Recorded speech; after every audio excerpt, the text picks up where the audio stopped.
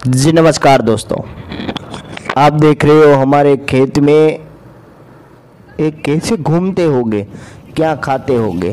पूरे दिन ऐसे घूम घूम के पूरा खेत में जो खेडूत ने रात दिवस मेहनत करके एक उत्पादन लेने के लिए पूरी आशा पे पानी फेरने वाला ये लोग है। देखिए पूरे दिन ऐसे कूदते हैं, फिर खेत में आके खाना खा लेते हैं। कैसे मेहनत कर रहे हैं? आप देख रहे हो, एक खेडूत एक सिंग वाली बलद की कैसे मेहनत करके वो अपना गुजरान चला रहे हैं। फिर भी पूरा नष्ट हो जा रहा है। एक तरफ़ एक मौसमी बारिश हो रही है, उसकी वजह से भी नष्ट हो रहा है। देखिए भैंसे खेत में घास खा रही है, उसको भी बुरा नुकसान हुआ है। एक मौसमी बारिश की वजह से और पूर्व गवर्नमेंट भी हमारी कोशिश कर रही है, पूरे सर्वे कर रही है।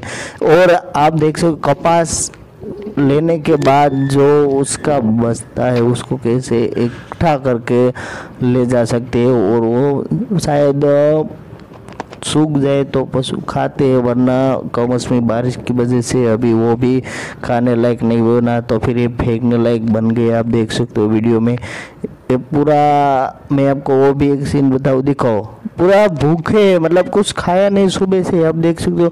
कुछ बारिश की वजह से ये खा नहीं सकते, पूरा देख सकते हो आप वीडियो में। एक बार देखिए, हमारे जो बड़द है, वो कम से कम रात को ही भूखे है। और एक तरफ़ ये देखिए, एक तरफ़ आप वीडियो में देख सकते हो एक से नीलगाय कहते और हमारे गाँव में से रोज कहते और ये एक ऐसी चीज़ है जो पूरे रात घूम के, जो खेत में पाग लगा रखा हो और पशुओं के लिए रखा हो, पूरा नष्ट करके और खा के चले जाते हो। पूरे ऐसे ही घूम रहे सांड की तरह देख लो।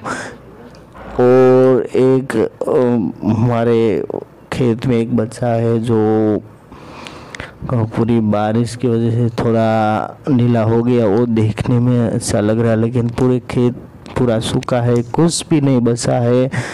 किस लायक बात करूँ मैं कि पूरे पानी पीने के लिए एक बूंद भी नहीं मिलती, ऐसा जीवन हो गया है। पूरे गुजरात में एक देख सकते हो, पूरा मतलब जो रात दिवस मेहनत करके पूरा पाक भिजोया था, वो भी नष्ट हो गया।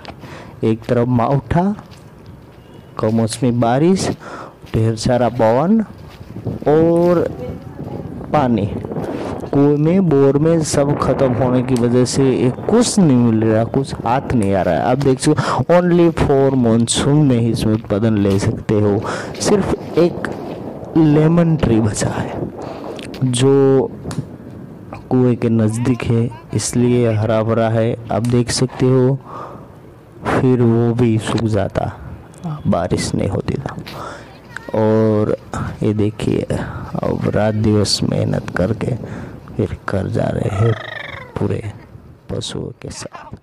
नमस्कार।